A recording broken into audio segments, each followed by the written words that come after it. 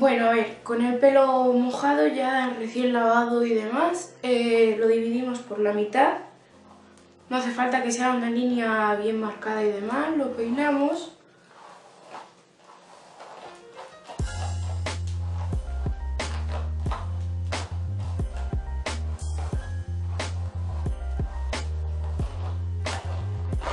Para desenredarlo y mantenerlo más liso.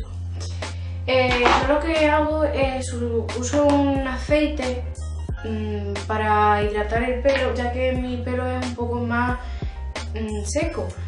Eh, dosifico 3, no sé si podréis verlo.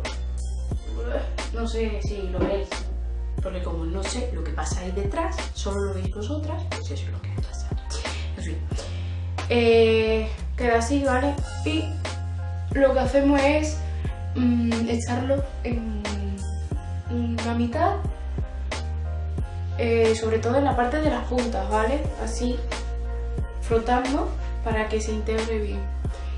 Luego lo subís hacia arriba y lo vais metiendo en todo el cuero cabelludo. Este aceite a mí me gusta mucho por su olor y también porque no se queda grasiento, sino que se seca también a medida que se seca el pelo.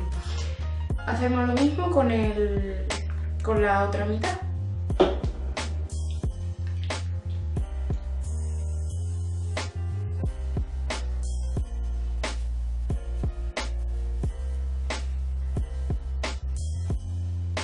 Ahora con el cepillo peinamos para que así el aceite se, distribuya bien por todo el cabello.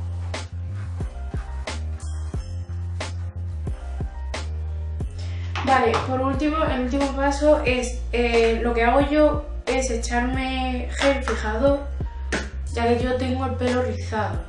Eh, lo mismo es como lo del aceite, más o menos, bueno, un poquito menos, claro, que esto es gel fijador y eso, lo extendemos bien y igual el mismo procedimiento solamente que con el, con el gel fijador. Lo extendemos bien y demás y tal. Si veis que necesitáis más, pues, pues echaros más, ¿no? No hace falta que os lo diga.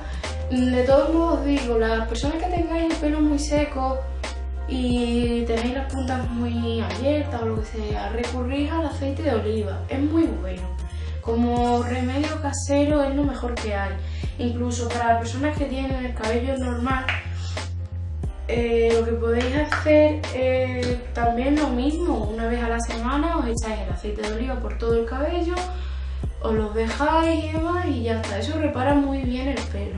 Las puntas abiertas, eh, las puntas secas, mm, lo que son los pelos, los cabellos secos, mm, es el mejor remedio, es el mejor producto. Y demás, también el aguacate, el aguacate también es muy bueno, con mascarillas y demás se puede hacer buena, un buen producto para el cabello. Así que nada, lo movéis bien, lo subís, vamos como se suele hacer siempre y demás. Y aplicando los productos estos serían ya os digo que yo ya me he duchado y tal, me, he lavado el pelo, me lo he lavado con mi champú y con mi suavizante, ¿vale? es un suavizante que yo me lo he hecho y, lo que hago es, mm, me lo dejo unos minutos mientras me voy echando el gel y demás y lo que hago es, una vez echado eso, me lo lavo todo, o sea, lo que serían 2 o 3 minutos, ¿vale? Lo que tarde y nada, el producto, esto es lo que yo hago. ¿Qué pasa? Que lo que ahora os voy a enseñar eh, exactamente el truco que yo tengo para que se me quede pues un rizo más uniforme en todo el pelo, ¿vale? Bueno, como os decía, em, con una pinza, ¿vale? Yo lo que hago, me voy a girar, este sería mi pelo, ¿vale? ¿Qué pasa? Que la parte de abajo, no sé si lo veréis, yo creo que sí, eh, la parte de abajo se me riza muy bien, pero la parte de aquí de arriba se me va quedando más lisita, también porque tengo cabellos eh, tengo cabellos que no sé por qué, si será por el peso o será porque es así, simplemente que, es que son más lisos. Bueno, ¿qué hago? Con una pincita chiquitita, También lo podéis hacer con horquillas y con coleteros. Y perdonadme por todo lo que estoy liando aquí con este vídeo porque es que es la primera vez que hago un tutorial de pelo y todavía no, no he cogido el truquito. Pero bueno, no pasa nada, yo lo pasé muy bien conmigo. Cogemos la mitad del pelo y hacemos esto.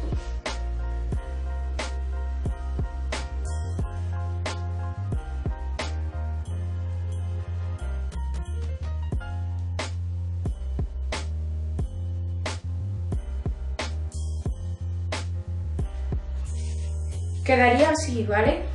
Podéis hacerlo con pinza, podéis hacerlo con coletero, podéis hacerlo con horquilla, eh, da igual, con lo que mejor os manejéis.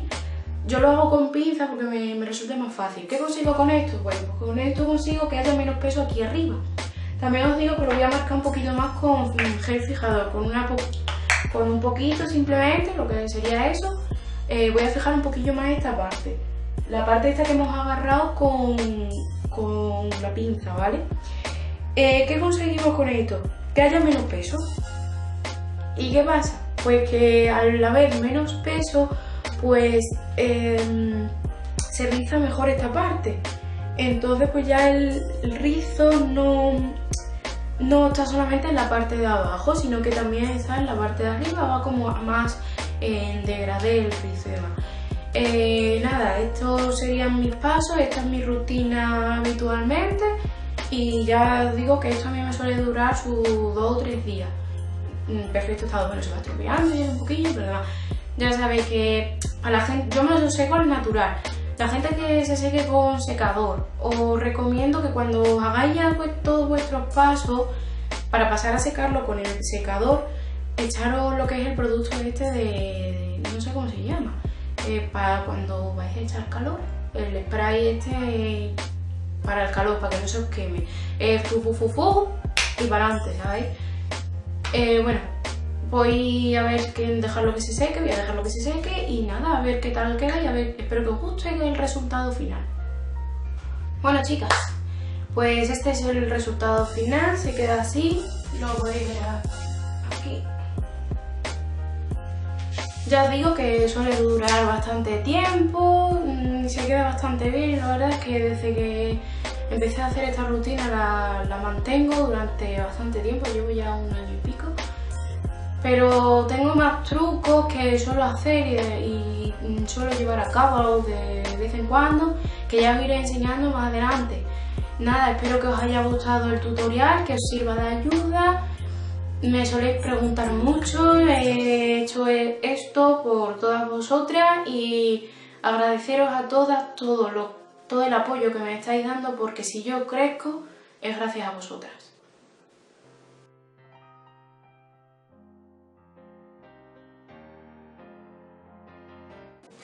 Y ahora cogemos un blanco vainilla o un blanco hueso para marcar lo que es la parte inferior de la ceja y con un blanco con más brillo vamos a marcar lo que es el